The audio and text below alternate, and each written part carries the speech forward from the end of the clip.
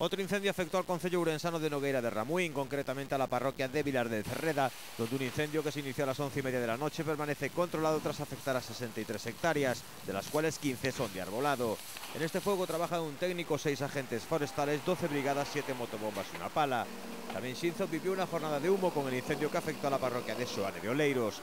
Está controlado tras quemar 55 hectáreas. Hubo además varios conatos de incendio en Pereiro de Aguiar y Piñor.